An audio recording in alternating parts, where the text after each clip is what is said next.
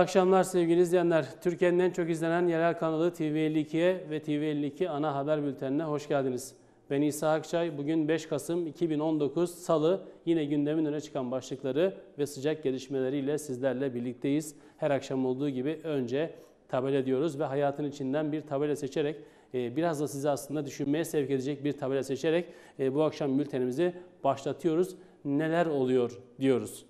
E, hem ülkemizde hem de ilimizde hem de kendi özel hayatımızda neler oluyor? Nasıl bir e, ekonomiye sahibiz, nasıl bir e, ticari yaşama sahibiz, e, nasıl bir siyasi hayata sahibiz, yönetsel alanda sorumluluklarımız neler, o alanda neler oluyor?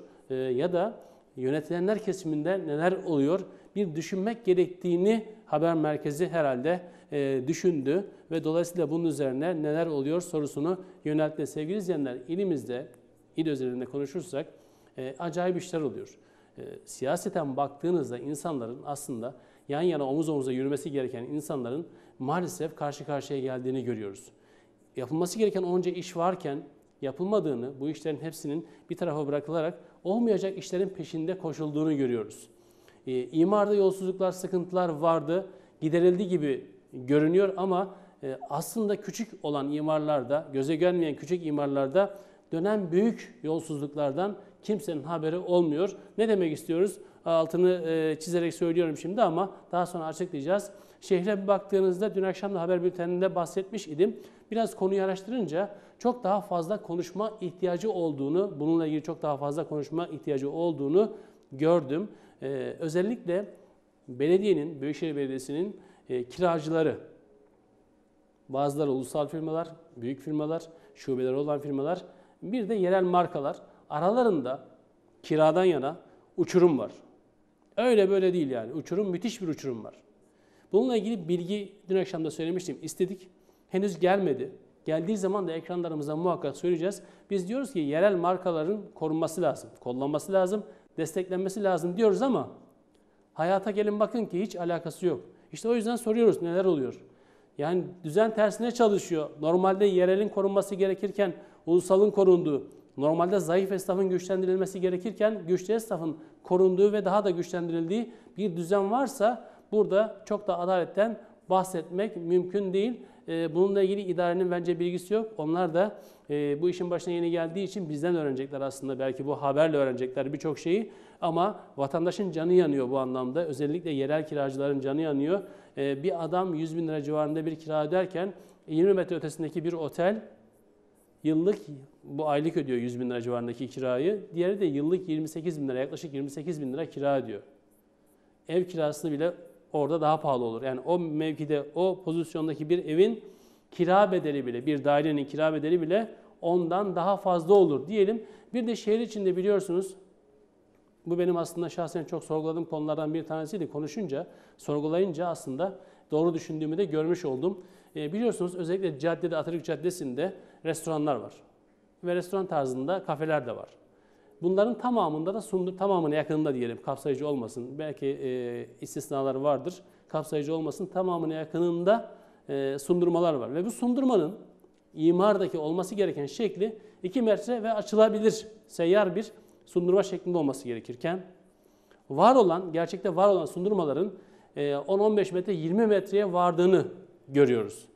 Bununla ilgili de özellikle Altınordu Belediyesi'nin e, bu anlamda biraz araştırmacı olması gerektiğini bu anlamda rol üstlenmesi gerektiğini, buralarda çözüme gitmesi gerektiğini e, düşünüyoruz. Zira burada bir haksız rekabet ortamı söz konusu e, ve dolayısıyla da e, imara uygun olmayan, normalde şehir imarına uygun olmayan bir alandan e, haksız kazanç elde etmek gibi bir de durum çıkıyor. Zira adamların bahçesi, bahçede kullandığı alan, içeride kullandığı alandan daha büyük diyelim. E, bu şuna gitmesin yani esnafları zor durumda bırakmaya gitmesin ama orada bir çözümleme yapılması gerekir. Belediyenin lehine, kamunun lehine bir çözümleme yapılması gerekir diye düşünüyoruz. E, bu ve daha fazlası için e, önümüzdeki bültenlerde yine konuyu konuşup gündeme getireceğiz. Bunlarla ilgili konuyu e, detaylı bilgiye sahip olduktan sonra diyelim e, gündem özete doğru bir e, gidelim.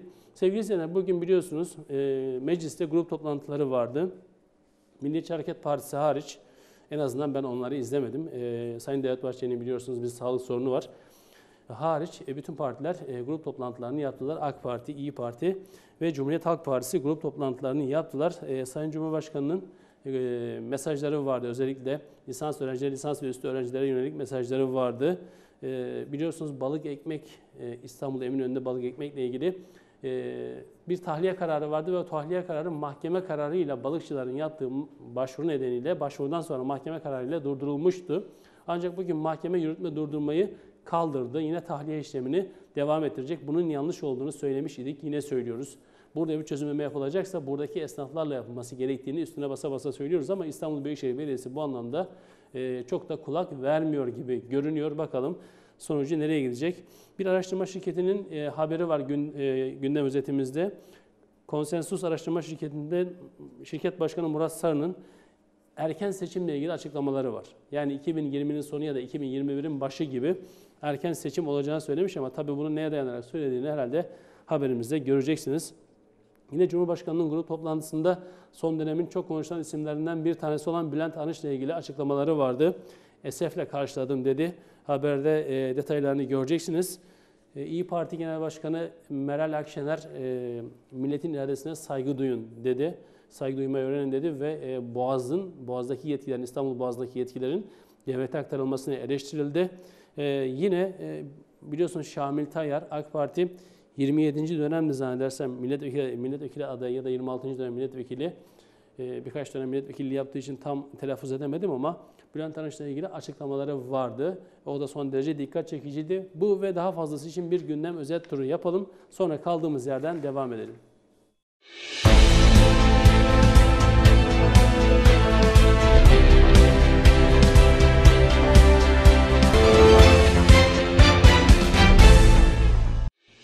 İstanbul Büyükşehir Belediyesi ile Eminönü'ndeki balıkçılar arasında tahliye olayına ilişkin mahkeme kararını verdi. Balıkçıların başvurusu üzerine verilen yürütmeyi durdurma kararı bugün kaldırıldı. Söz konusu tahliyeye ilişkin yasal süreç devam edecek. İstanbul Büyükşehir Belediyesi Eminönü'nde balık ekmek satan iş yerlerinin boşaltılması için ihtarname gönderilmişti. Balıkçılar ise İstanbul Büyükşehir Belediyesi'nin aldığı kararın iptali için İstanbul 4. İdare Mahkemesi'ne dava açmıştı. Mahkeme ise cuma günü yürütmeyi durdurma kararı vermişti.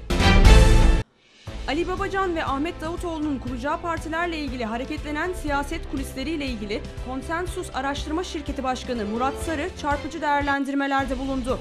Sarı, Yeni Çağ yaptığı açıklamada Türk siyasetinin sıcak bir döneme girdiğini ifade ederek 2020 yılının sonunda ya da 2021 yılının başında yeni bir seçim bekliyoruz. Kamuoyu araştırmaları tekrar ön plana çıkacaktır. Dolayısıyla sürecin iyi takip edilmesi gerekiyor dedi. Son yaptıkları araştırma sonuçlarında parlamenter sisteme dönülmesini isteyenlerin oranının %51 olduğunu ifade eden Murat Sarı, ellerinde meclis aritmatiğini çıkarabilecekleri herhangi bir sonuç olmamakla birlikte Cumhurbaşkanlığı hükümet sistemine desteğin düştüğünü ve bunun AK Parti MHP ittifakının olaylarını olumsuz etkileyeceğini ifade etti. Cumhurbaşkanı ve AK Parti Genel Başkanı Recep Tayyip Erdoğan partisinin Türkiye Büyük Millet Meclisi'nde düzenlenen grup toplantısı sonrası gazetecilerin sorularını yanıtladı. Gazeteciler Cumhurbaşkanlığı Yüksek İstişare Kurulu üyesi Bülent Arınç'ın KHK bir faciadır açıklamasını hatırlattı. Bugün kurulun bir toplantısı olacağını hatırlatan Erdoğan, bugün görüşeceğiz ancak iyi bir hukukçu olduğuna göre KHK bir faciadır demesini esefle karşıladım dedi. İyi Parti Genel Başkanı Meral Akşener partisinin grup toplantısında açıklamalarda bulundu. Boğaz'a ilişkin düzenlenen tasarıya sert tepki gösteren Akşener, İBB'nin elindeki yetkiyi almak istiyor. Buradan uyandırıyorum. İstanbul Boğazı'nın sahibi Türk milletidir. Sayın Erdoğan milletle inatlaşma. İmamoğlu'nun idaresini gasp etmeye çalışma. Artık milletin iradesine saygı duymayı öğren diye konuştu.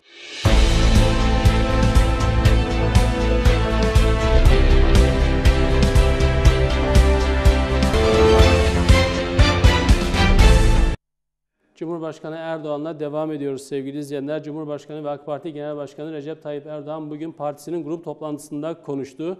E, gündemi oldukça yoğundu. Özellikle Bülent Arınç'la ilgili söylemleri dikkat çekmişti. Gündem özetle de zira izlediniz bunu. E, ondan sonraki gündemi de lisans ve lisansüstü öğrencilerine dönük e, kredi ve burs rakamlarında yapılan iyileştirmeler idi.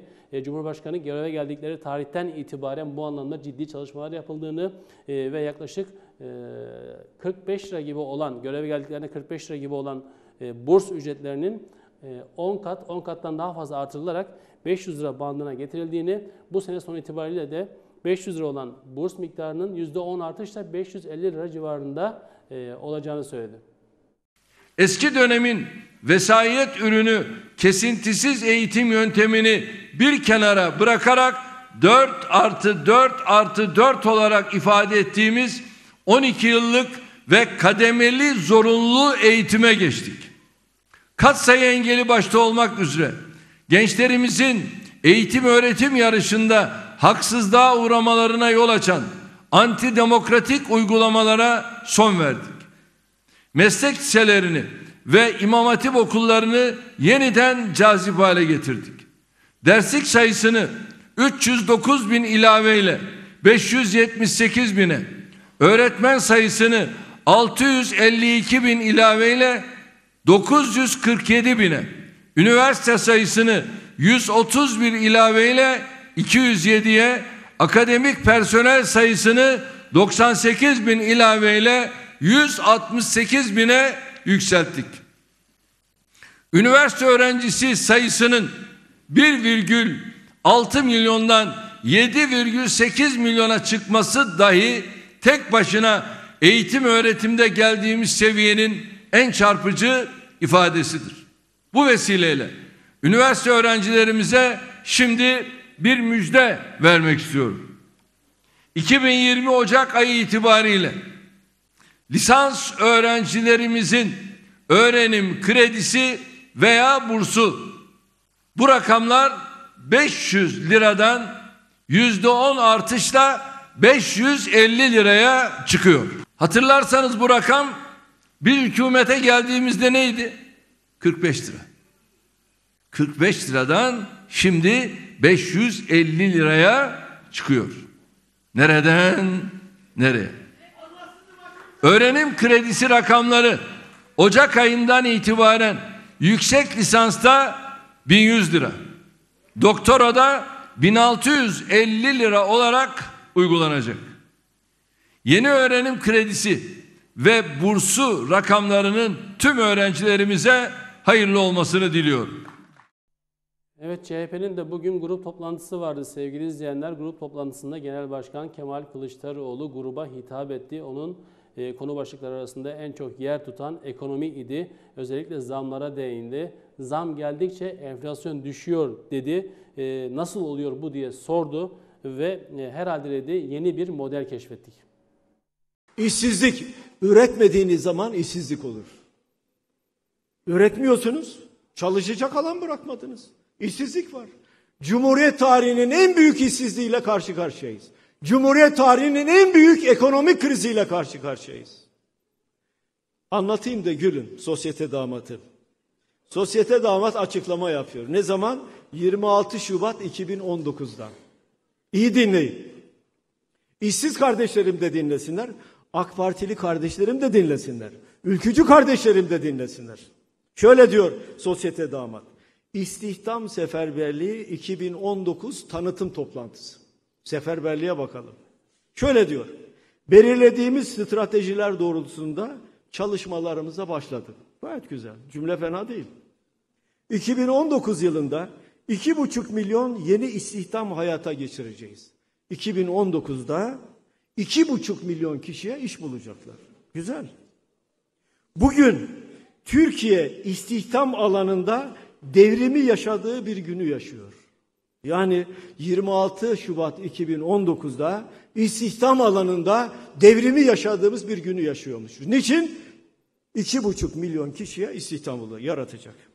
Sağlanan iyileşmenin en güzel göstergesi KOBİ, esnaf ve sanayicimizin gün be gün hissetmeye başladığı bu rahatlamadır diyor.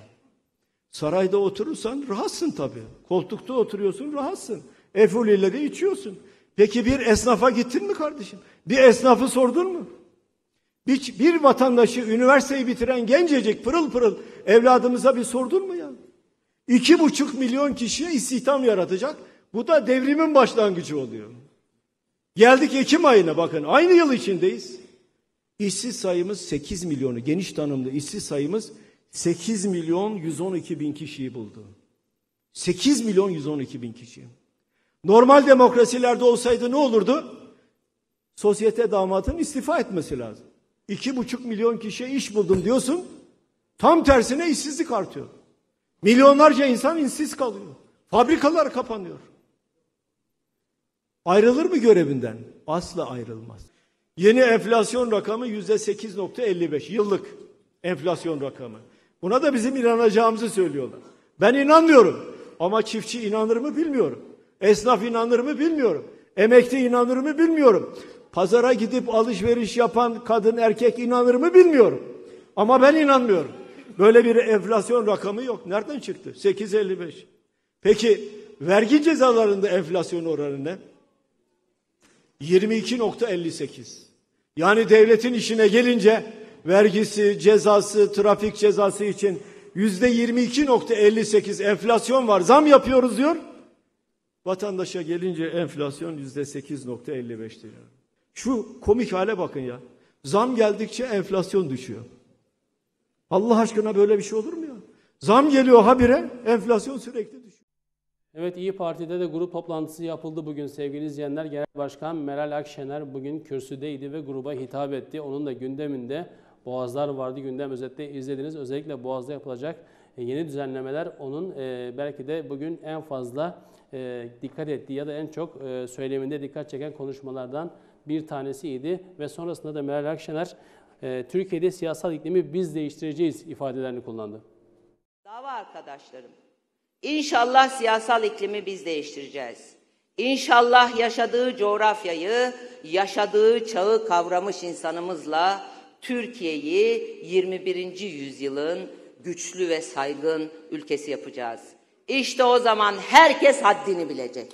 Bakınız 2002-2007 arasındaki büyüme oranını bugüne dek sürdürebilseydik, kişi başına düşen milli gelirimiz 16 bin dolar olacaktı. Yani milletimiz tam iki kat zengin olacaktı.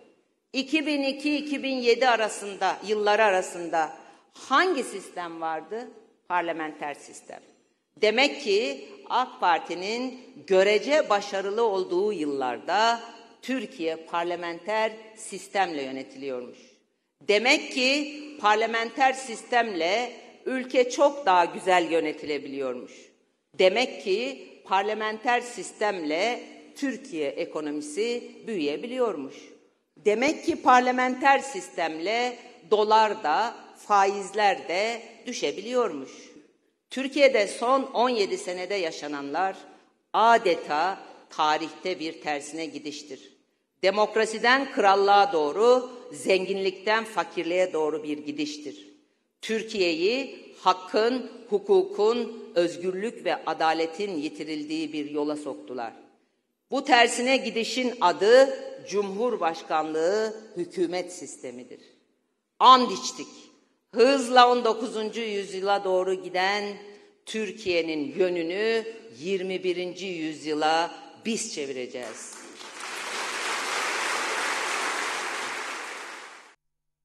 Evet sevgili izleyenler hayatın kime ne getireceği belli olmuyor. Bazen farklı şeyler düşünüyoruz ama bulduğumuz, umduğumuz şey gibi olmuyor. Dolayısıyla e, bazen sevinçli bir e, yola çıkışın sonu hüzünle bitebiliyor. İşte şimdi onlardan bir e, tanesi olan haberimizi ekranlarınıza getireceğiz. E, sevinçle başlayan bir yolculuk ancak hüzünle biten bir son. E, Korganlı genç kardeşimizin hikayesi 25 yaşındaki uzman çavuş Halil İbrahim Saymak 2 ay önce göreve başlamış e, uzman çavuş olarak göreve başlamış ve bu hafta sonu düğünü varmış. Düğünü yapmak için birliğinden izin alıp Korgan'a yola koyulmuş ancak evine ulaşamadan geçirdiği trafik kazasıyla hayatını kaybetti kardeşimiz. E, kardeşimize Allah'tan rahmet diliyoruz, ailesine sabırlar diliyoruz. Korgan'da düzenlenen cenaze töreniyle toprağa verildi. Çorum'da uzman çavuş olarak görev yapan Halil İbrahim Saymak hafta sonu yapacağı düğün için izin alarak birliğinden ayrıldı. Saymak'ın kullandığı otomobil Korgan ilçesinin Çayırkent Obası'nda şarampole devrildi. Çevredekilerin ihbarı üzerine olay yerine gelen 112 acil servis ekibi Saymak'ın hayatını kaybettiğini belirledi. Saymak'ın cenazesi Korgan Devlet Hastanesi morguna kaldırıldı. Yaklaşık iki ay önce uzman çavuş olarak göreve başlayan Saymak'ın hafta sonu düğünü olduğu öğrenildi. Geçirdiği kazada hayatını kaybeden saymak için bugün Korgan'da cenaze töreni düzenlendi. Ve dahi nasıl bilirdiniz iyi bir komşu muydu? Ve dahi nasıl bilirdiniz iyi bir kardeş miydi? Sayman cenaze törenine Korgan Belediye Başkanı Tuncay Kiraz, Korgan'daki daire başkanları Çatalpınar Belediye Başkanı Ahmet Türe ve çok sayıda vatandaş katıldı. Helal edelim, helal ettiniz mi? Helal edelim, helal ettiniz mi? Korgan Çayırkent Mahallesi Erocak Camii'nde ikindi namazına mütakip kılınan cenaze namazından sonra saymak defnedildi. Evet Fas'ta uzanıyoruz sevgili izleyenler. Fas'ta bugün kivi hasat şenliği vardı biliyorsunuz fındıktan sonraki en çok ürettiğimiz tarım ürünü kivi. Törene Tarım İl Müdürü Kemal Yılmaz'la beraber Ordu Büyükşehir Belediye Başkanı Doktor Mehmet Hilmi Güler ve Ordu Valisi Seddar Yavuz katıldı. Çeşitli etkinlikler düzenlendi, e, yarışmalar düzenlendi ve halk oyunu gösterileri vardı törende. Daha sonra yapılan temsili hasat töreniyle kivi hasat sezonu başlamış oldu. Ordu'da kivi üretimini yaygınlaştırmak amacıyla 12. Ordu Kivisi Hasat Şenliği gerçekleştirildi. Tarım ve Orman İl Müdürlüğü'nce kivinin tanıtımı ve üretiminin artırılması amacıyla düzenlenen şenlik Fatsa ilçesinin Ilıca mahallesinde Yusuf Hayta adlı üreticinin bahçesinde yapıldı. Kivi hasat şenliğinde konuşan Ordu İl Tarım ve Orman Müdürü Kemal Yılmaz, Ordu'da kivi üretim alanları, miktarı ve üreticiler hakkında bilgi verdi. Özellikle sahil ilçelerimizde dekara getirisi son derece yüksek olan, birim alan getirisi son derece yüksek olan ve pazar sorunu olmayan kivi yetiştiriciliğini ilimizde geliştirmek için çalışıyoruz. Tabii kivi yetiştiriciliğinin mazisine baktığımızda elimizde yaklaşık 25 yıllık bir mazisi var. Kivi yetiştiriciliğinin önemini vurgulayan İl Tarım ve Orman Müdürü Kemal Yılmaz, Ordu kivisinin coğrafi işaret tescili yapılarak markalaşma sağlandığının müjdesini verdi. Daha sonra konuşan Ordu Büyükşehir Belediye Başkanı Hilmi Güler ise fındıkta Ordu olarak dünya şampiyonu, kivi ve bal üretiminde ise Türkiye ikincisi olduklarını ifade etti. Ve burada da başta fındık olmak üzere fındıkta dünya şampiyonuyuz Ordu. Ee, Kiwi'de, balda da Türkiye ikincisiyiz. Bundan sonra yapacağımız ortada bir de mavi yemiş dediğimiz, blueberry dediğimiz ve belki de ana vatanı Gürgentepe olan böyle bir meyvamız daha var. Bunu da devreye sokacağız. Tabi tarımda sadece bu ürünü yetiştirmemiz kalmıyor, yet- yeterli değil. Burada değerli çiftçilerimizin olduğu gibi bunun e, ilave yatırımlarla belki meyve suyunu, belki diğer ürünlerine gidecek diğer çalışmaları yapmak lazım. Ordu Valisi Seddar Yavuz da kivinin tarım açısından önemine değindi. Ordu'da kivi üretiminin artırılmasına yönelik de çalışma başlattıklarına işaret eden Yavuz, DOKAP ile yaptıkları anlaşmayla yıl sonuna kadar 100 dekarlık kivi bahçesi kuracaklarını söyledi. DOKAP'la bu sene biliyorsunuz bir anlaşma yaptık. DOKAP desteğiyle 100 dekarlık şu anda kivi bahçesini bu yıl sonuna kadar bitirmiş olacağız. Yine vatandaşlarımızın kendi istekleri 100 dönüm civarında vatandaşlarımız kuracaklar. Bu sene 200 dönüm civarında kivi bahçesi Ordu'ya kazandırmış olacağız. Konuşmalarının ardından en iyi kivi bahçesi yarışması ile en iyi kivili pasta yarışmasında dereceye girenlere ödüller verildi. 17 kivili pasta ve 107 kivi hasatı yarışmada boy gösterdi. Ödüllerini alan yarışmacılar fotoğraf çektirerek 12. kivi hasat şenliğinde anı bıraktılar. Ödül töreninin ardından halk oyunları gösterisi düzenlendi, temsili hasat gerçekleştirildi. Evet Ordu Büyükşehir Belediyesi ile devam ediyoruz sevgili izleyenler. Geçtiğimiz hafta sonu biliyorsunuz Ünye Hayvan Barınağı'nda bir sıkıntı yaşanmıştı. Oradaki hayvanların durumu ulusal medyaya düşmüş e, ve oldukça büyük bir tepki olmuştu. Büyükşehir Belediye Başkanı Hilmi Güler'e ve Ordu Büyükşehir Belediyesi'ne Hilmi Güler de alelacele e, temaslarını, Ankara'daki temaslarını yarıda kesip yine dönmüş idi ve gelir gelmez de açıklama yapmıştı. Bunun hesabını soracağız. Gereklilere gerekli işlem yapılacak, gerekenlere gerekli işlem yapılacak demiş idi. Ve bugün de e, o fatura kesildi. Genel Sekreter Yardımcısı Selahattin Aydın, Çevre Koruma ve Kontrol Daire Başkanı Aydın Demirel ve Veterinerlik Hizmetleri Şube Müdürü Mürsel Şahin görevinden alındı.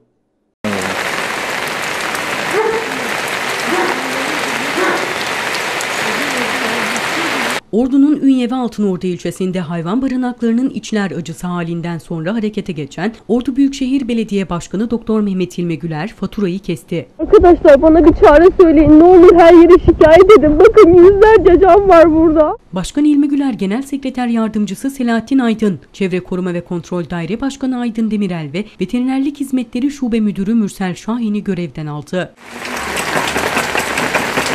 Altınordu ve Ünye'de hayvan barınaklarında köpeklerin aç ve perişan hallerinin sosyal medyaya ve ulusal basına yansımasının ardından soruşturma başlatan Ordu Büyükşehir Belediye Başkanı Hilmi Güler, gerekenin yapılacağını ve sorumlusu kimse cezalandırılacağını söylemişti.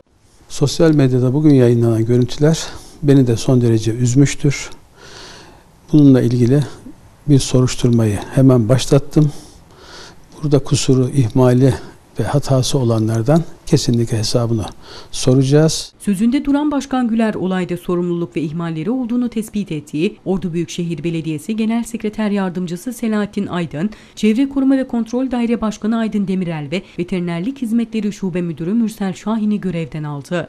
Öte yandan halen inşaat halinde olan Ünye Hayvan Barınağı'ndaki hayvanlar Altınordu ilçesi ile Samsun'un Bafra ilçesindeki barınaklara gönderildi. Yaklaşık 80 köpek yeni barınaklarında veteriner kontrollerinin ardından kulübelere yerleştirildi. Ünye Barınağı'nın modern hale getirilebilmesi için inşaat sürüyor. İnşaatın 15 gün içinde bitirilerek hazır hale getirileceği öğrenildi. Altınordu ilçesindeki barınak alanında yeni kafes ve barınma odalarının yapımı sürüyor. Öte yandan Ordu Büyükşehir Belediye Başkanı Doktor Mehmet Hilmi Güler sosyal medya hesabından yaptığı açıklamada şu ifadelere yer verdi. İlimizde bulunan hayvan barınağında yaşanan sıkıntının çözüme kavuşturulması, mevcut barınağın iyileştirilmesi ve modern bir tesis haline getirilmesi için gereken adımları hızlı bir şekilde atmaya devam ediyoruz. Geçtiğimiz günlerde yaşanan üzüntü verici görüntülerin ardından başlattığım soruşturma neticesinde de Genel Sekreter Yardımcısı Selahattin Aydın, Çevre Koruma ve Kontrol Daire Başkanı Aydın Demirel ve Veterinerlik Hizmetleri Şube Müdürü Mürsel Şahin'i görevden aldım. Kamuoyuna saygıyla duyurulur. Evet sırada bir organ bağışı haberimiz var sevgili izleyenler. Biliyorsunuz bunu her platformda dillendirmeye çalışıyoruz. Konuşuyoruz ne kadar önemli olduğunu söylüyoruz. E, kaybedilen bir canın organları bir başka canın hayata tutunmasını tekrar e, yaşayabilmesini, yaşam umudu olabilmesini sağlıyor. O yüzden bu konuda duyarlı olmak gerektiğini her fırsatta söylüyoruz. E, kalp krizi geçiren Hasan Aydın isimli bir kardeşimiz Ordu'da Altınordu ilçesinde özel bir hastanede tedavi altına alınmış ancak kurtarılamamış. Beyin ölümü gerçekleştikten sonra da ailesi organlarını bağışlamış. Organları 3 hastaya can vermiş sevgili izleyenler. Bununla ilgili organ nakil koordinatörü Selçuk Yücesan'ın Yücesan'ın açıklamalarını getiriyoruz ekranlarınıza. Ordu'nun Altınordu ilçesinde bulunan özel bir hastanede organ nakli gerçekleştirildi. Hasan Aydın isimli zihinsel engelli vatandaşın geçirdiği kalp krizi sonucu beyin ölümünün gerçekleşmesi üzerine ailesi Aydın'ın organlarını bağışladı. Aydın'ın karaciğeri ve böbrekleri Erzurum Atatürk Üniversitesi Organ Nakli Merkezi'nde 3 hastaya umut oldu.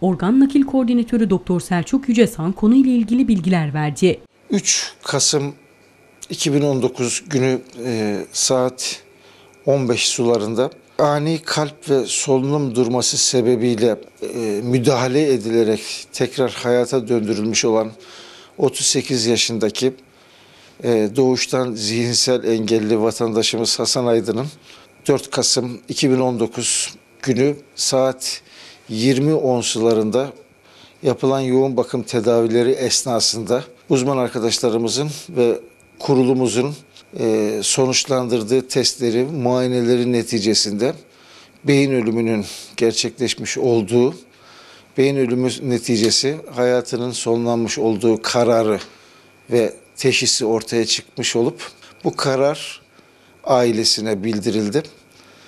Yasal vasisi konumundaki kardeşi tarafından ve diğer akrabaları ile yapılan görüşmede vatandaşımız Hasan Aydın'ın organlarının bağışlanması kararı ailesi tarafından verildi. Başladığımız süreç neticesinde rahmetli Hasan Aydın isimli meftamızın, vatandaşımızın karaciğeri ve böbrekleri Erzurum İl Atatürk Üniversitesi Organ Nakil Merkezi'nde 3 hastaya nakledilmek üzere Erzurum İl Atatürk Üniversitesi'nden organ çıkarım ve nakil ekibi hastanemize ulaşmış vaziyette. Birazdan operasyon başlayacak ve operasyonun neticesinde çıkartılan organlar şifa olmak üzere diğer hastalara nakledilmek üzere götürülecekler. Yücesan organ bağışında bulunan aileyi takdir ve tebrik etti. Ee, hayatını kaybeden rahmetli Hasan Aydın isimli vatandaşımızın e, vatandaşımıza Allah'tan rahmet diliyoruz. Olay sebebiyle cereyan etmiş olan bu üzücü hadise sebebiyle ailesinin gönüllü bir şekilde organ bağışında bulunması dolayısıyla ayrıca organ bekleyen birçok hastamız adına organ alacak olan hastalarımız adına da bu hayırlı bağışlarının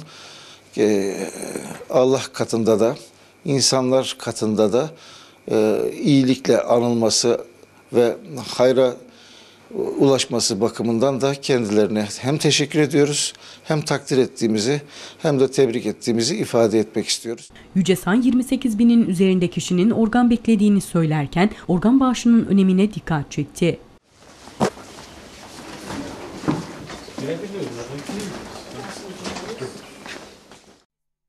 Evet devam ediyoruz sevgili izleyenler. Ordu Gölköy yoluyla dün akşam da gündemimizde vardı biliyorsunuz. Aslında Çambaşı, e, Çambaşı Ordu yolunu konuşmuştuk ama e, Gölköy yolunu da değinmiştik. Bugün bununla ilgili açıklama geldi. Gölköy, Gölköy Belediye Başkanı Fikri Uludağ'dan. Fikri Uludağ önümüzdeki yıl sonu itibariyle Ordu Gölköy yolunun tamamlanacağını söyledi. Bu anlamda herkese teşekkür etti.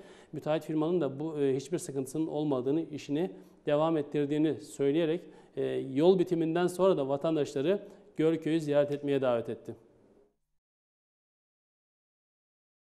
Gölköy Belediye Başkanı Fikri Uludağ Ordu Gölköy yolu ile ilgili bilgiler verdi. Başkan Fikri Uludağ yolun iki aşamada devam ettiğini söylerken Ulubey ve Ordu arasının hızlı bir şekilde devam ettiğini belirtti. Ulubey ve Gürgentepe yolu hakkında da bilgi veren Başkan Uludağ, buradaki yolunsa yıl sonuna bitirilmesinin planlandığını söyledi. sunuyorum. İnşallah e, önümüzdeki 20 2020'nin sonunda bu Ordu Gölköy yolu bitmiş ve gündemden düşmüş olacak. Zaten şu anda gündemde e, düşmüştür çünkü yapımı hızlı devam ediyor. Ben e, özellikle milletvekillerimize başta Şener Yedi Yıldız, Metin Gündoğdu ve Ergün Taşçı vekilimize teşekkür ediyorum. E, Karayolları Bölge Müdürümüze teşekkür ediyorum. Ekibine teşekkür ediyorum. E, Karayolları Genel Müdürümüze teşekkür ediyorum. Sayın e, Numan Bey'e teşekkür ediyorum. Sayın Cumhurbaşkanı'na teşekkür ediyorum. Yıl sonunda ya da hava şartları el verdiği takdirde Gölköy tarafının devam edeceğini söyleyen Uludağ, 2020'nin sonunda Ordu Gölköy yolunun bitirileceğini vurguladı. Dolayısıyla biz bir ekibiz. Bu ekip dahilinde inşallah önümüzdeki 2020 yılının sonunda Ordu Gölköy yolunu bitirmiş ve Gölköy ve bölge insanın e, e, kullanımı sunmuş olacağız. Yolda e, şu anda yaşa- ha- bir sıkıntımız yok.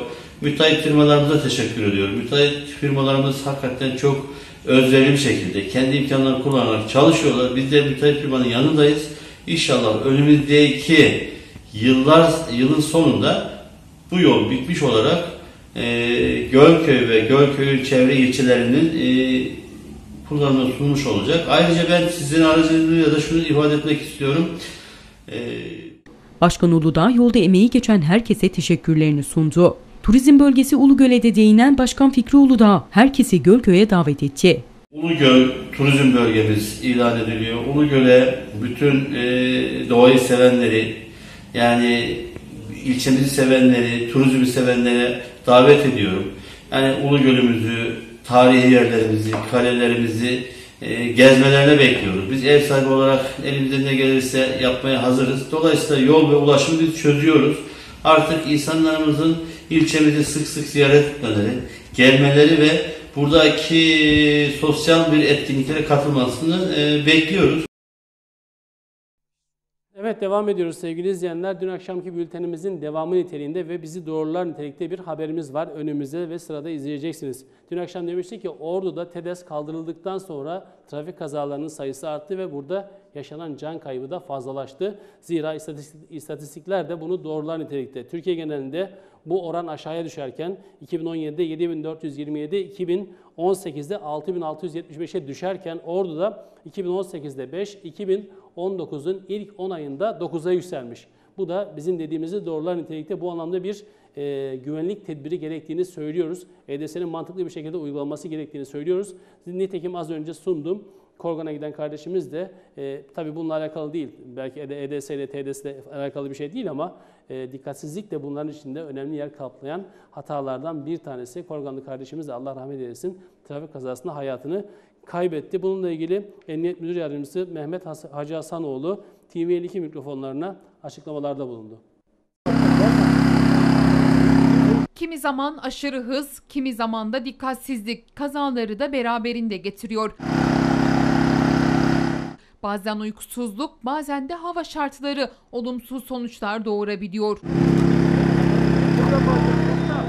Öyle ki ordudaki ölümlü trafik kazaları da bunun örneği. 2018 yılında 5 kişi hayatını kaybederken bu rakam 2019 yılında 9'a çıktı.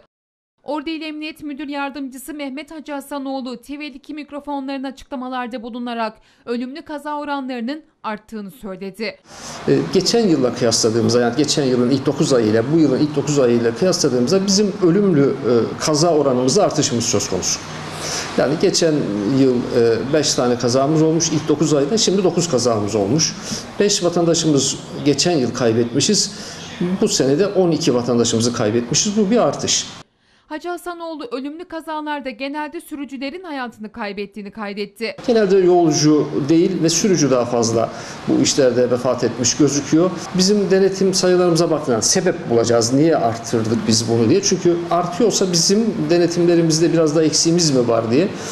Her iki yılla ilgili denetim sayılarımıza da baktığımızda bizim ciddi anlamda denetim sayılarımızda %30'un %50'ye varan artışlarımız söz konusu. Ceza işlem uygulamalarımızda da. Hacı Hasanoğlu kazaların meydana gelmemesi ve can kaybının olmaması için sürücülere uyarılarda bulundu. E, trafikte biz çok can kaybediyoruz. Çok fazla mal kaybediyoruz. Trafik çok önemli. O direksiyona geçtiğimizde sürücülerimize ne oluyor bilmiyorum. Ya bir iki dakika e, veya birkaç saniye e, rahat olsalar, larç olsalar, e, saygılı olsalar karşılıklı birbirlerine, kendilerine e, o geçiş hakkı neyse, ya kavşakta kural neyse uyabilseler, hız sınırına uyabilseler biz bunları konuşmuyor olacağız. Ordu'da durum böyleyken Türkiye genelinde ise tam tersi. İçişleri Bakanı Süleyman Soylu trafikte yıllık ölüm sayısının 6675'e düştüğünü söyledi. 2017 yılında trafikte yıllık ölüm sayısı 7427 idi. 2018 yılında bu rakam 6675'e düştü. Hem olay yeri hem de hastanede bir aylık ölümler bu rakama ilave edilir. Uluslararası standart da budur. Toplam 6675. Şimdi Ekim ayını kapattık. İlk 10 ay %28,5. Perşembe uzanıyoruz sevgili izleyenler. Perşembe'de de biliyorsunuz uzun zamandan beri bir çöp yangını var. Yani bunu defaten ekranlara getirdik. Biz getirmekten usandık aslında ama yetkililer buraya çözüm bulamadılar maalesef. Hala yanmaya devam ediyor orası. Orada da sıkıntı metan gazı varmış. Dolayısıyla bundan e, ötürü yangın sönmüyor ya da söndürülemiyor imiş. Perşembe Belediye Başkanı konuyla ilgili açıklamalar yaptı Mustafa Sayın Tandoğan. Alana yaklaşamadıklarını söylemiş. Bu anlamda birilerinin e, bu sorunu çözmesi lazım. Yani Büyükşehir'in herhalde bu alanda devreye girmesi gereken kurum birim e, Büyükşehir olması gerekir. Büyükşehir'in bu anlamda e, görevi üstlenip buradaki sıkıntıyı gidermesi lazım. Zira buranın etrafı komple orman. Allah muhafaza. Eğer orada yangın büyürse kimse önüne geçemez. O yüzden bir an önce tedbir alınması lazım. Mustafa Sayın Tandoğan'ın açıklamalarını getiriyoruz ekranlarınıza. Perşembe'de bulunan ve yaklaşık iki aydır yanan çöplük korkutuyor. İçinde bulunduğu metan gazı sebebiyle için için yanan çöplük tehlike saçıyor. Perşembe Belediye Başkanı Mustafa Sayım Tandoğan çöplüğe yanaşmanın mümkün olmadığını belirtirken yangının ormana etkili olmaması için tedbirlerin alındığını ifade etti. Tandoğan çöplüğe girmenin zor olduğunu ifade ederken kayma yaptığını ise önemli belirtti. Özel sektörden görüşmeler yaptıklarını da söyleyen Tandoğan çöplüğü devredemediklerini ifade etti. Tandoğan suçun geçmişte çöpü dökenin değil temizleyenin olduğunu belirtti. Mustafa Sayın Tan Doğan herhangi bir olumsuzluk yaşanmaması için konuğunun takipçisi olacaklarını ifade etti.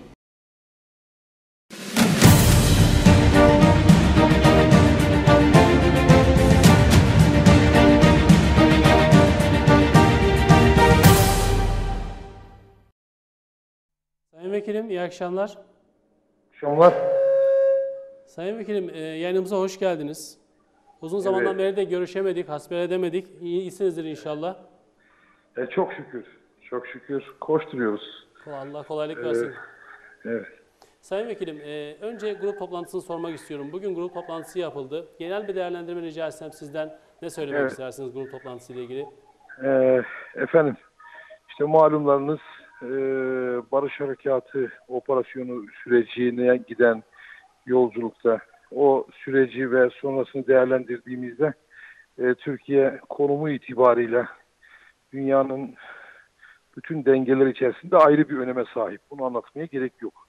Dolayısıyla Türkiye ile ilgili bu dış politikadaki gelişmeleri e, saat saat, dakika dakika izleyen bir dış politikanın ve gerçekten bütün komşuları ile ve dünyadaki genel ilişkiler anlamında sağlıklı bir dış politika yürütme arzusu olan ülkemizin e, geldiği nokta itibariyle kaçınılmaz olan adımları atarak ve bugün barış harekatı ile ilgili süreci hep birlikte takip ederek buraya geldik. Dolayısıyla bugünkü ve geçen haftaki grup toplantılarının havasına da baktığımız zaman birlik ve beraberliğimizin perçilendiği ve e, gerçekten grubu olarak sapasağlam Sayın Cumhurbaşkanımızın liderliğinde muhalefetin de katkılarını yok sayarak değil, muhalefetin de yapıcı doğru önerileri ile ülkemizin her zamandan daha fazla e, ülke siyaseti adına kişisel çıkarları bir tarafa bırakarak ülkesel anlamda e, olaylara bakarak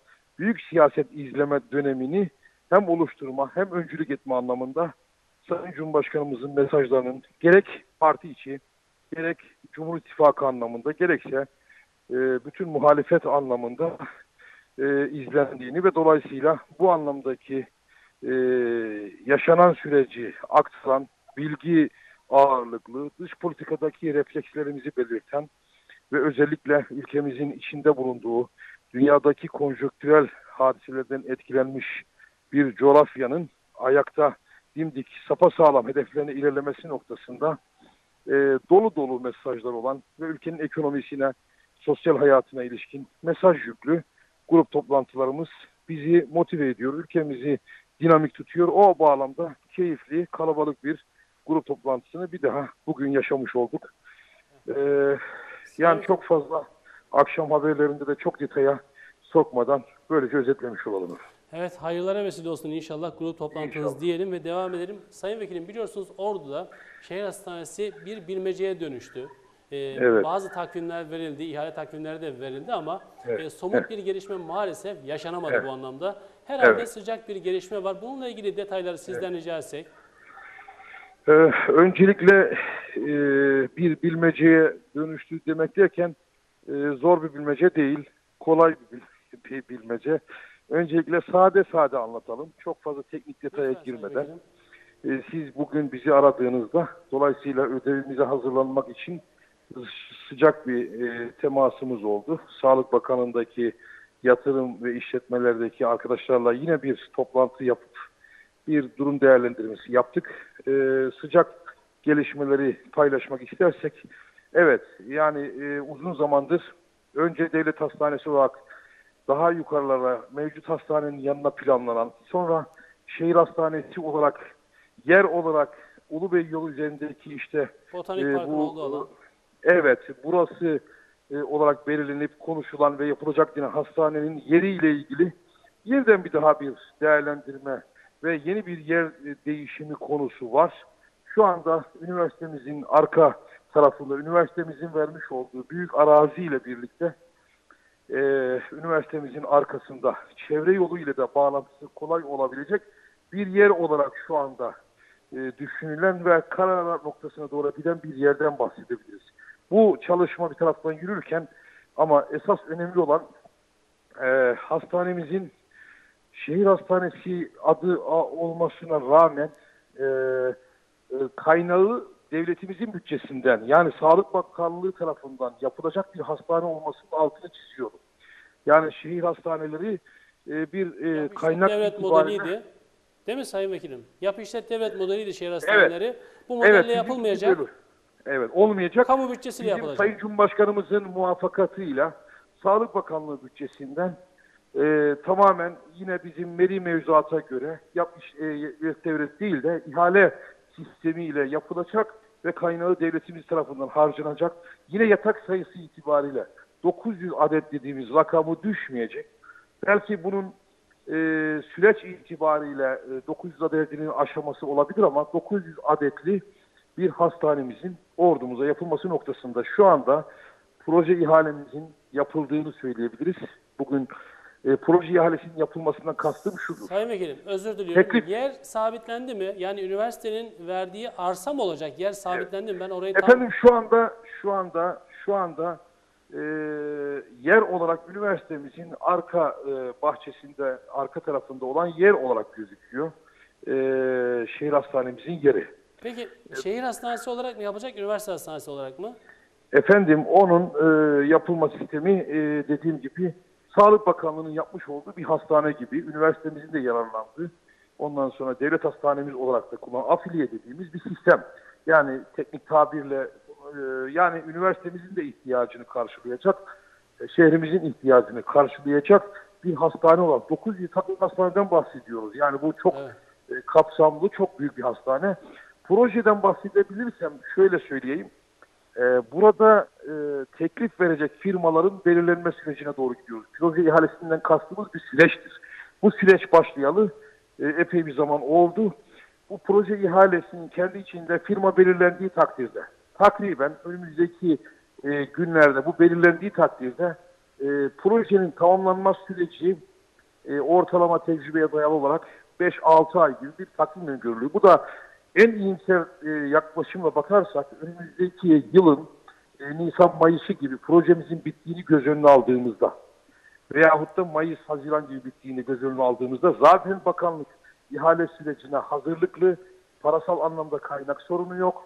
Dolayısıyla biz istiyoruz ki önümüzdeki yaz sezonunun bitiminde yani 2020'nin e, Ekim ayı dönemi gibi, Eylül ayı dönemi gibi bilemiyorum tabii. Ya, bu tahmini bir şey ama 2020'de amacımız bu hastanemizin temelini hep birlikte atmak.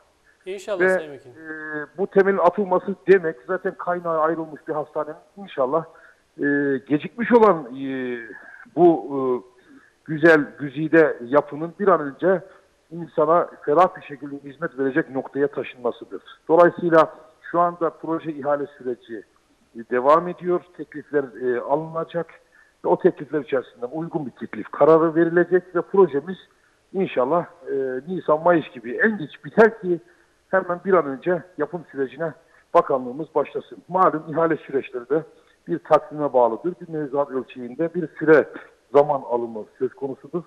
E, hiçbir sorun gözükmüyor. Sağlık Bakanlığımız orduyu, ordudaki yatırımı kendi birincil ödevi olarak zaten masasının önünde çalışıyor arkadaşlar. Orduya da genelde hakimler yaşanan bu süreçten dolayı inşallah bir başka bir kaza olmasın. Devletimiz, İnşallah. milletimizin bu birlik ve beraberliği daim olduğu müddetçe inşallah ordumuzun sağlık sorunlarıyla ilgili bu beklenen, uzun yıllar beklenen bu yatırımı bir an önce gerçekleşsin. Amacımız da budur. İnşallah. Sayın Vekilim verdiğiniz bilgiler için çok teşekkür ediyoruz. Evet. Size iyi Ben de- diliyoruz. Ordulara mesajınız Evet, ben de- varsa alalım.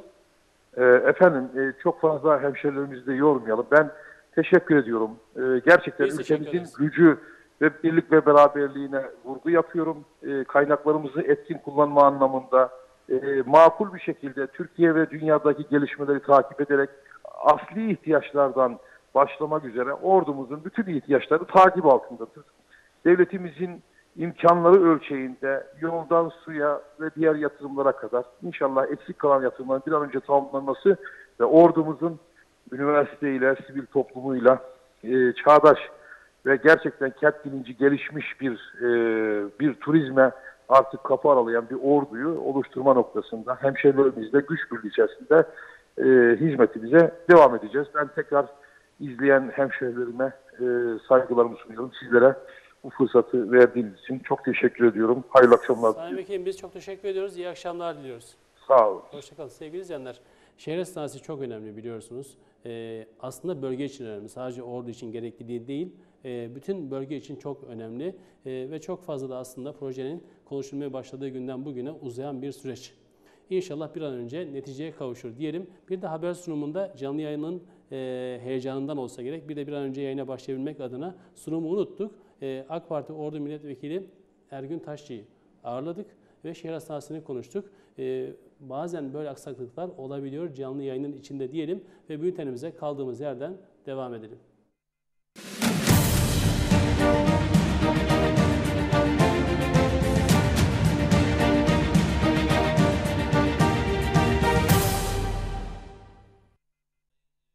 Evet Ulubey'e uzanıyoruz sevgili izleyenler. Ulubey'de e, Fındıklı Mahallesi'nde yaşayan Ergin Yeşiltaş isimli vatandaşımızın mağduriyetini, yoldan dolayı yaşadığı mağduriyeti ve ilginç protestosu geliyor ekranlarınıza. Yolumu kestiler, bana yol vermiyorlar. İstimlak da yapmadılar. Zaten yasal süreci de başlattım. Buna rağmen olumsuz cevap alıyorum. Bölgeden de geldiler Samsun'dan. Senin burada insanca yaşama hakkın yok diyorlar bana. Ergin Yeşiltaş yol mağdurlarından biri eline aldığı kazmayı keseri bir nevi protesto etti. Ordu'nun Ulubey ilçesine bağlı Fındıklı Mahallesi yukarı sokakta oturan Ergin Yeşiltaş'ın iddialarına göre evinin önünden geçen yolu kapattılar ve evine çıkması için de yol vermediler. Ben de dedim evimi de kamulaştırın, alın, satın.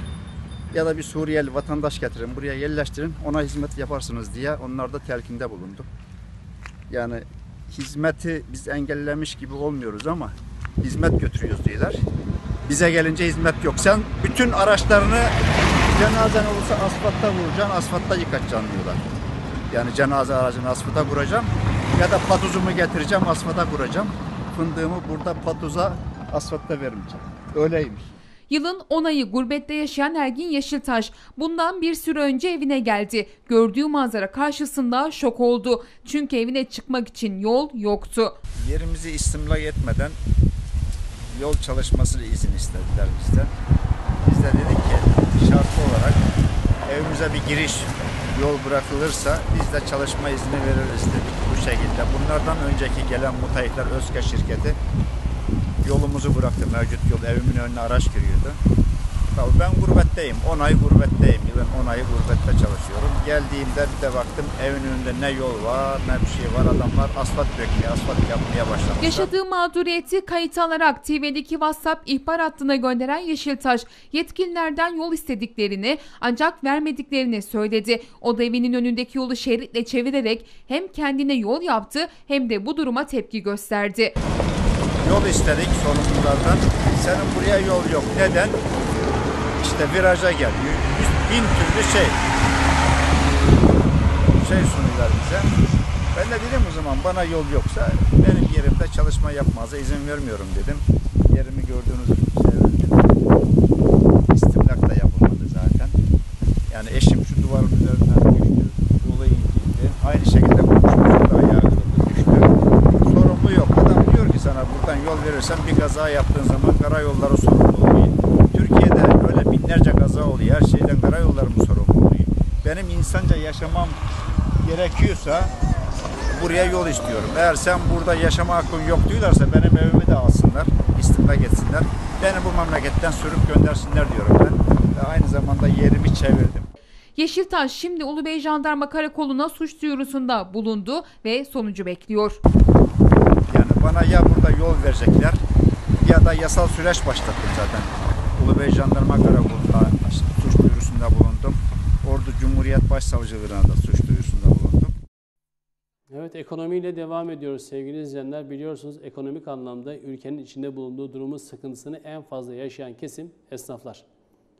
Ee, Birçok anlamda iyileştirmeler yapılsa da yani kredi anlamında belki bir tık iyileştirmeler yapılsa da esnafların üzerindeki yük e, bir türlü hafifleyemedi. Hafifleyecek gibi de kısa vadede görünmüyor ama e, Esnaf ve Sanatkarlar Kredi ve Kefalet Kooperatif Başkanı Yüksel Kaya bununla ilgili açıklamalar yaptı. Esnafın e, biraz daha rahat nefes almasını sağlamak adına e, %4'lerden 5'lerden 8'lere çıkan kredinin yaptıkları baskı sonucu indirildiğini ve %3 civarında e, kredi avantajı sağlandığını söyledi. Esnaf kredilerinde indirim gerçekleştirildi. Orada Esnaf Sanatkarlar Kredi ve Kefalet Kooperatifi Başkanı Yüksel Kaya, esnaf kredilerindeki indirimlerle ilgili konuştu. Geçen mülakatımızda e, Antalya'da Sayın Bakanımızla, Ticaret Bakanımızla bir toplantımız olduğunu e, bahsetmiştim. e, yoğun bir baskımız vardı bizim. Biz e, güçlü bir kuruluşuz. E, bu baskımız neticesinde yılbaşında beklediğimiz faiz indirimlerini bugünden e, elde etmiş bulunuyoruz. Biliyorsunuz bugün Türkiye'de en ucuz kredi, işletme kredisi kooperatiflerimiz vasıtasıyla Halk Bankası aracılığıyla kullandırılan kredilerdir. Bu yakın zamana kadar yüzde beş, bir yıllık kullanana yüzde dört, daha fazla yıllar kullanan için de yüzde beş idi. Ama Türk, dünyada olduğu gibi Türkiye'de de çok yakın zamanda geçirdiğimiz ekonomik bunalım e, bizi de etkiledi tabii ülke olarak. Dolayısıyla faiz, reel faizlerin yükselmesi neticesinde kooperatif vasıtasıyla kullandırdığımız kredilerde yüzde dört ve beşten sekize çıktı. Banka da yüzde iki komisyon alıyor idi. Tabii yine piyasa cari faiz oranlarına göre bakarsanız düşük idi ama e, biz onu yüksek olarak gördük ve büyük bir baskı yaptık. Kaya yılbaşında bekledikleri faiz indirimlerini bugünden elde ettiklerini söylerken %3 kazanım elde ettiklerini belirtti. Zaten Cumhurbaşkanımızın esnaf camiasına bakışı çok olumlu. E, bakanlığımız da hakeza öyle. 4 Kasım'dan geçerli olmak kaydıyla bizim kullandırdığımız kredilerin faizini %4'e, 6'ya düşürdüler. Yani 2 puan indi. E, Halk Bankası'nın kestiği komisyonu da %2'den 1'e düşürdük. Dolayısıyla %3 bir kazanım elde ettik.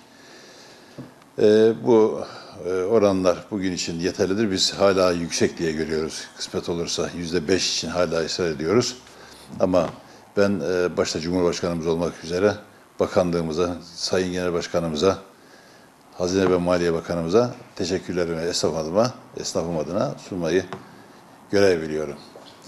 Bu oranlarda şimdilik e, esnafımıza hayırlı olsun. E, daha önce söylediğim gibi işlerinde ciddi olan, aldığını ödemek isteyen her esnafımıza kapımız sonuna kadar açık. Plasman sorunumuz hiç yok. E, bekleme de yok hemen hemen. E, biraz yoğunuz ama esnafımız için her, elimizden gelen her şeyi yapmaya hazırız. Evet, üniversiteyle devam ediyoruz sevgili izleyenler. Biliyorsunuz üniversitenin yeni rektörü Ali Akdoğan oldukça e, ordu sevdalısı bir adam ve her fırsatta ordu birlikleri üzerinde e, yorum yapan, çalışan, üniversiteyi de bu alana kanalize etmeye çalışan bir e, hemşehrimiz, ordulu bir hemşehrimiz. Dolayısıyla e, geldiği günden bugüne de aslında e, farkını gösteriyor. Üniversiteden ses gelmeye başladı, haberler gelmeye başladı. Ümit ediyoruz ki önümüzdeki dönem inşallah çok daha e, şehirle entegre bir Ordu Üniversitesi olur diyelim. Ali Aktan bugün Ünye ve Fasya yerleşkelerini ziyaret etti. Buralarda eğitim görevlileri ve öğrencilerle bir araya geldi. Ordu Üniversitesi Rektörü Profesör Doktor Ali Akdoğan, Fatsa ve Ünye yerleşkelerini ziyaret etti. Fatsa Deniz Bilimleri Fakültesi yerleşkesinin mevcut durumu ve çözüm önerilerinin görüşüldüğü ziyarette Balıkçılık Teknolojisi Mühendisliği bölümüne ait laboratuvarda incelemelerde bulunan Rektör Akdoğan, Fatsa Meslek Yüksekokulu'nun gemi makineleri simülatörü, köprü üstü simülatörü, soğutma iklimlendirme laboratuvarı, haberleşme laboratuvarı, motorlu araçlar laboratuvarı, moda tasarım atölyesi ve dersliklerinde gerçekleştirilen çalışmalar hakkında Fatsa Deniz Bilimleri Fakültesi Dekanı Profesör Doktor Bahar Tokur ve Fatsa Meslek Yüksekokulu Müdürü Doçent Doktor Yılmaz Çiftçi'den bilgi aldı. Sanalda bir geminin, tanker gemisinin yaptığı bütün uygulamaları biz simülatör içinde birebir aynı gerçeklikte öğrencilere öğretiyoruz. Makine simülatöründe de evet, mesafeye göre. Çocuğa siz burada teorik olarak evet, evet. işi öğretin. Gemide gerçeği de bu. Gemideki gerçeği de bu. Ünye İktisadi ve İdari Bilimler Fakültesi ile Ünye Meslek Yüksekokulu'na yapmış olduğu ziyarette Rektör Akdoğan, Ünye İktisadi ve İdari Bilimler Fakültesi Dekanı Profesör Doktor Gürol Özcüre ve Ünye Meslek Yüksekokulu Müdürü Doktor Öğretim Üyesi Erdem Kaya'dan gerçekleştirilen çalışmalar hakkında bilgi alarak eğitim bilimlerinin laboratuvar, derslik ve yemekhanelerinde incelemelerde bulundu. Gayet güzel. Bizim bilgisayarlardan güzel. Evet. Kısa devreleri falan görüyorlar. Öyle mi? Evet. Gerçekleştirdiği ziyarette akademik ve idari personel ile bir araya gelen Rektör Akdoğan, üniversitemizi daha ileri seviyelere taşıma yolunda önceliğimiz kalite ve nitelik olacaktır dedi. Üniversitemizde birliğimizi, beraberliğimizi, kardeşliğimizi geliştirici, hoşgörüyü, barışı, değil mi? Birlikte yaşamayı, huzuru sağlayıcı bir tutum içinde olalım. Kimsenin burnu karamasın. Kimse e, bir ötekileştirmeye maruz kalmasın. Kimse e, yönetimden şey olmasın. Yani yönetime güvensin, inansın, e, mutlu olsun. Onun için e, bütün çabamız. Evet, sırada bir kaza haberimiz var sevgili izleyenler. Altınordu ilçesi Yıldızlı mahallesinde 64 yaşındaki Burhan Ocak'a ait inşaat halindeki evin balkonu çöktü Ee, ve yaşanan kazada Burhan Ocak ağır yaralandı. Ordu'nun Altınordu ilçesinde inşaat halindeki binanın balkonunun çökmesi sonucu bir kişi yaralandı. Alınan bilgiye göre Yıldızlı Mahallesi'nde Burhan Ocak'ın inşaat halindeki iki katlı evinin balkonu çöktü. Bu sırada balkondaki kalıpları söken ocak beton blokların altında kaldı. Komple yıkılmış ya. Ya 4 metre baksana. Çökmüş de şu bağlantı yok bak. Buradan adam sağ çıkmaz. Yok canım kırmışlar adam. Çevredekilerin yardımıyla kurtarılan ocak 112 acil servis ekiplerince Ordu Devlet Hastanesi'ne kaldırıldı. Ocağın sağlık durumunun ağır olduğu öğrenildi. Devam ediyoruz sevgili izleyenler. 10 Kasım'a biliyorsunuz sayılı günler kaldı ve Ulu Önder Atatürk'ün vefatının 81. seneyi yıl dönümü e, 10 Kasım. 1938'de Ulu Önder vefat etmiş idi. E, ve bu 10 Kasım'da da her Kasım 10 Kasım'da olduğu gibi anma törenleri düzenlenecek. Ordu Valiliği herhangi bir aksaklık yaşanmaması noktasında kontrol amaçlı bugün siren testi yaptı.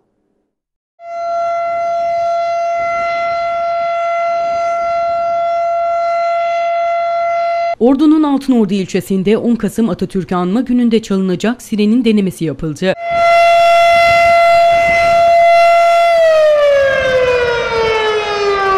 Ordu Valiliğince herhangi bir aksaklık olmaması için bugün Ordu'da siren çaldı. Yapılan deneme sireni ise Ordu sokaklarını inletti.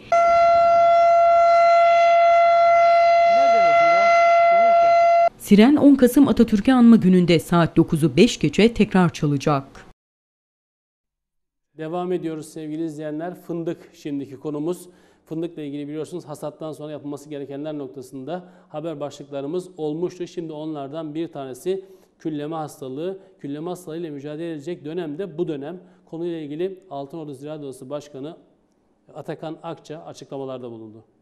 Son zamanlarda tehdit eden en büyük unsurlardan bir tanesi külleme hastalığı. Fındıkta külleme hastalığı son yıllarda Karadeniz coğrafyasında ve Ordu'da çokça görülen bir durum haline geldi.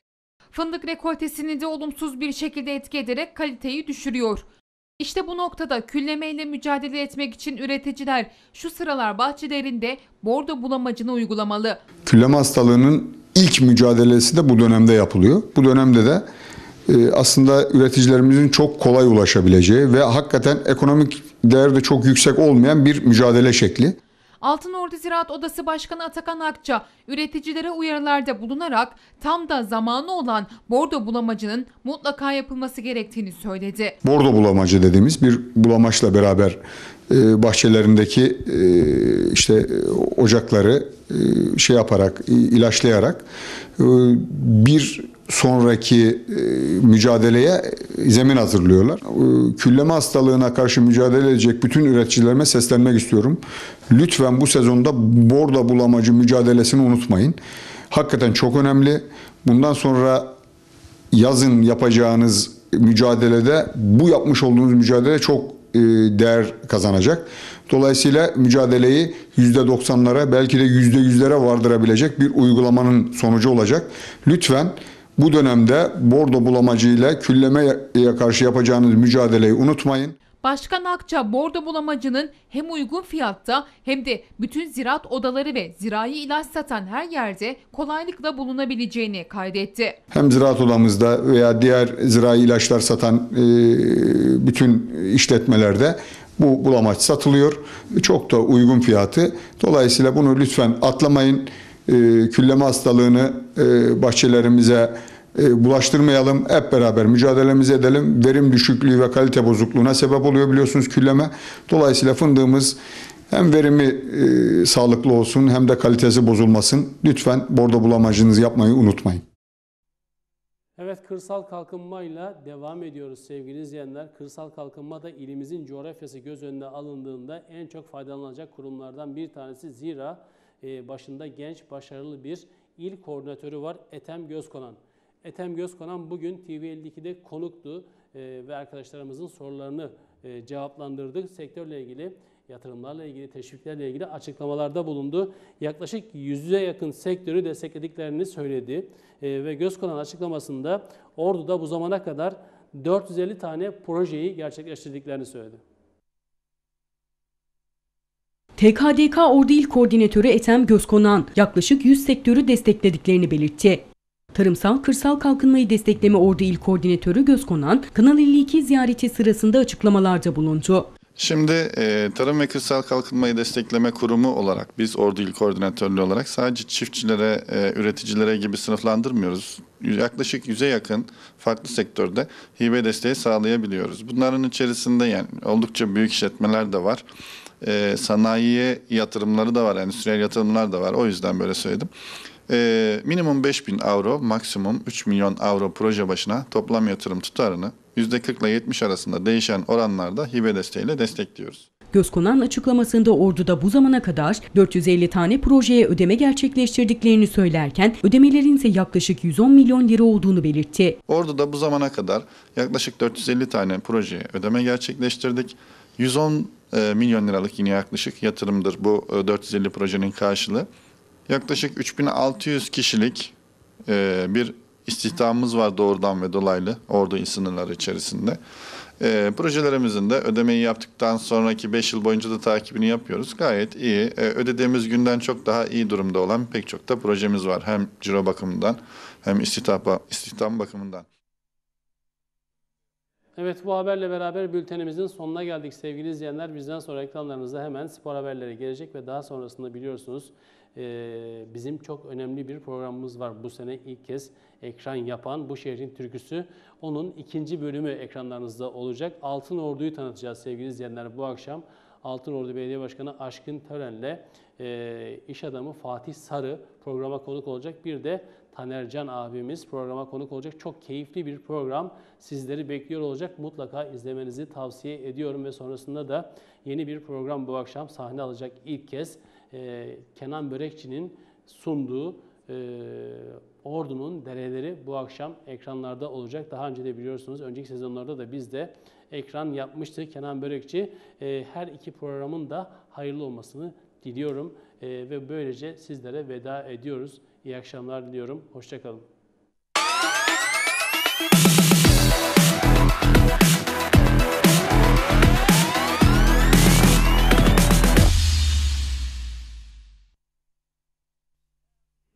Ordu'nun dünyaya açılan penceresi TV52 ekranlarından iyi akşamlar. Ben Volkan Deniz. Günün öne çıkan spor haberleriyle karşınızdayız. Makedonya'da düzenlenen 11. Avrupa Karate Şampiyonası'nda kumite dalında Ordulu Tuğçe Taşyapar altın madalya kazandı.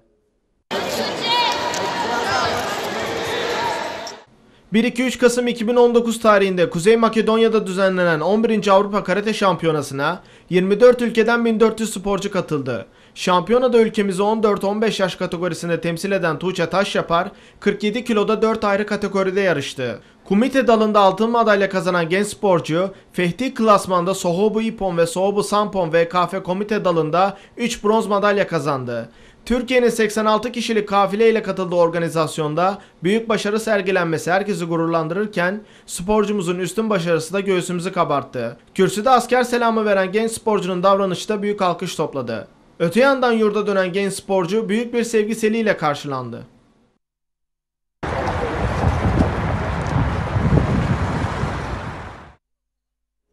Teknik direktörler değişti, oyuncular kadro dışı kaldı ama sorunlar çözülemedi. Sorunlarını gideremeyen Ünye 1957 kongreye gidiyor.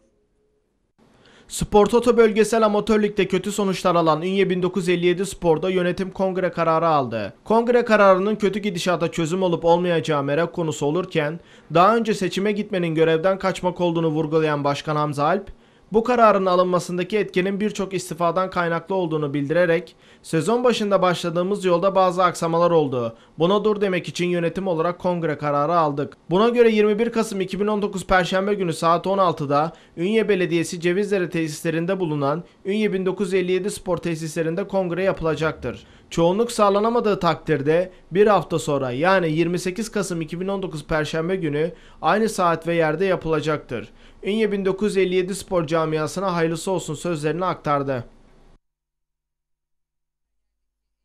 Kadınlar 2. Liginde mücadele eden Ordu Çamlık Spor ilk hafta maçında Erbaa Gençliğe mağlup oldu. Voleybol Kadınlar 2. Liginde ligin önemli playoff adaylarından birisi olan Ordu Çamlık Spor ilk hafta Tokat'ta Erbaa Gençliğin konu olduğu. Erbaa Spor Salonu'nda oynanan karşılaşmanın ilk setinde kötü bir oyun ortaya koyan Ordu Çamlık Spor ilk seti 25-13, kısmen daha iyi oynasa da ikinci seti 25-23, üçüncü seti de 25-22 kaybedince maçı da 3-0 kaybetti. Ordu Çamlık Spor sezonun ikinci hafta maçında haftaya sahasında Osmancık Belediyespor'u konuk edecek. Masterlar ve Veteranlar Futbol Ligi'nde Ordu'yu temsil eden Ünye ilk hafta maçında Çorum Hattuşa'ya 4-0 mağlup oldu. Bülent Yelkenci sezonu Masterlar ve Veteranlar Futbol Ligi'nde sezon başladı. Orta Karadeniz Ligi'nde Ordu'yu temsil eden Ünye Şöhretler ilk maçında Çorum 1 nolu sahada Çorum Hattuşa Masterlara konuk oldu. Çorum Hattuşa Mustafa Doğan 2, Kenan Aşkın ve Ersel Şahin'in golleriyle karşılaşmayı 4-0 kazandı. İkinci haftayı bay geçecek olan Ünye ekibinin rakipleri Çorum Hattuşa, Ayancık Veteranlar, Boyabat Veteranlar, Durağan Veteranlar, Samsun Masterlar ve Bafra Veteranlar. Günün öne çıkan spor haberleriyle karşınızda olduk. Yarın yine aynı saatte görüşmek dileğiyle. Hoşçakalın.